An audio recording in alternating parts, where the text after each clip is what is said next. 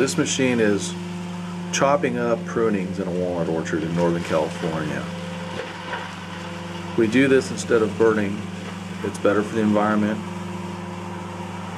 And the chippings are incorporated back into the soil, which creates a, a mulch, a humus effect in the soil, which is good for the soil. This machine is capable of chopping up to four and five inch wood.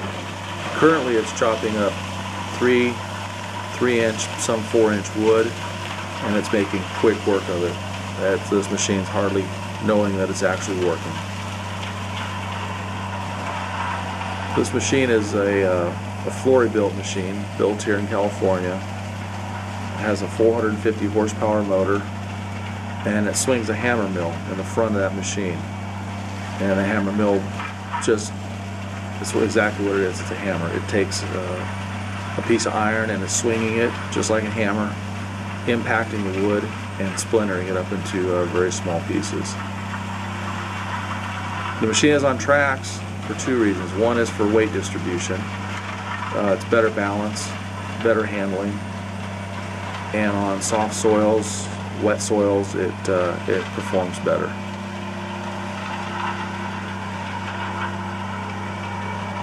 Typical cost of this machine is over $300,000. You can see the chips on the ground, how small they are.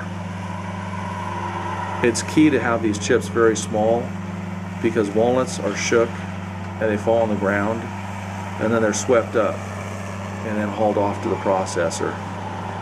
If the chips are too big, you get too much debris with the walnuts when you take them to the processor it makes it difficult for processing. This way when the chips are small, uh, they fall through the machinery and never really get picked up and never make it to the processor. It makes a cleaner product.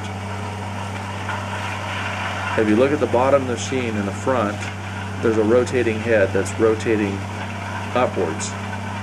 Uh, that rotation lifts the brush into the feed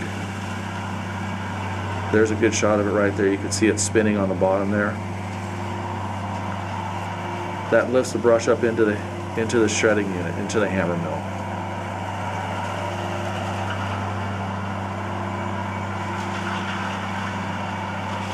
This operation is something we do every winter on most California permanent crops. We'll go through and prune off uh, unwanted vegetation, keep the trees in shape, out diseases, and then we'll come through with a machine similar to this. This is probably the biggest machine we use. Uh, there's many machines that are smaller for various size jobs. And then we'll go through and shred the material up, incorporate it back in the ground. And most of California is going that way with uh, no burning, uh, shredding and incorporating the prunings back into the ground.